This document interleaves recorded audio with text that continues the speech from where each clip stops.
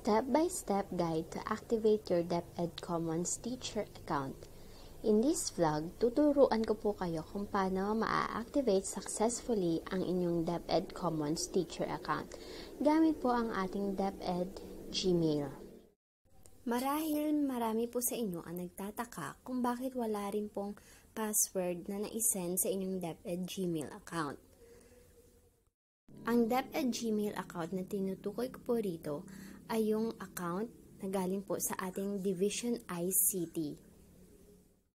Ito po yung DepEd account from our DepEd ICT coordinator na ginamit po natin para maka-avail po ng free Microsoft 365 Office. So yun po ang gagamitin natin para ma-activate po ang ating DepEd Commons teacher account. Sana po by the end of this video matulungan po kayo nito and don't forget to subscribe and turn on the notification. Para ma-activate nyo po successfully, kailangan nyo pong pumunta sa commons.deped.gov.ph.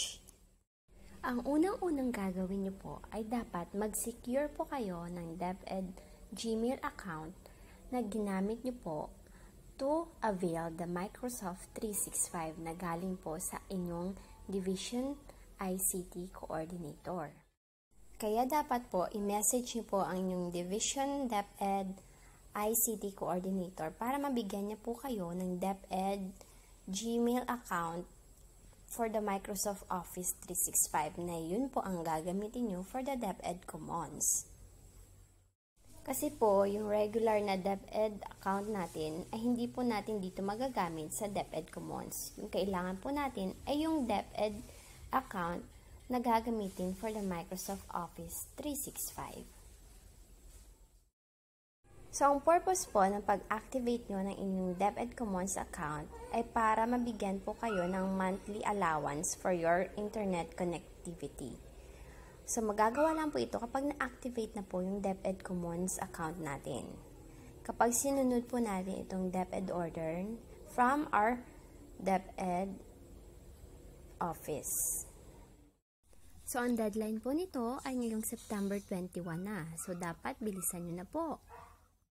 Ang magiging beneficiary po nito ay yung may mga naka-activate na account until September 21, 12 noon.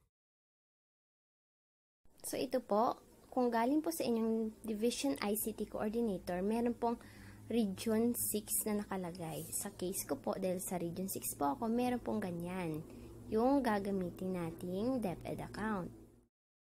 So kapag binuksan nyo po yung DepEd email nyo, makikita nyo po message na ito wherein may message kung paano nyo po ma-activate yung DepEd Commons ninyo na account. So, sundan nyo lang po at i-open ang link. Once okay na po yung inyong DepEd email, i-click nyo lang po yung link na na-receive sa inyong email, then proceed and click login, then teacher account login. Yan po yung dapat nyong gawin para ma-open po yung account nyo. Then, after which, i-type nyo po yung email nyo, then yung password. So, make sure to use the DepEd email from your Division ICT Coordinator.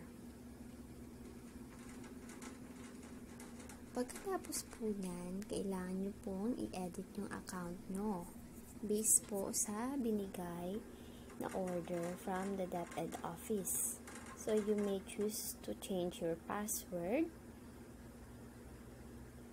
your new password, and the confirm password niyo po. Yan po ang pwede niyong baguhin.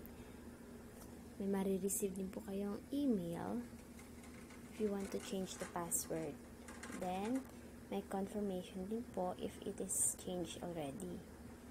Then, updating of profile. So, choose nyo po yung teaching. Then, enter your first name, middle name, last name, your mobile number, your designation, your school.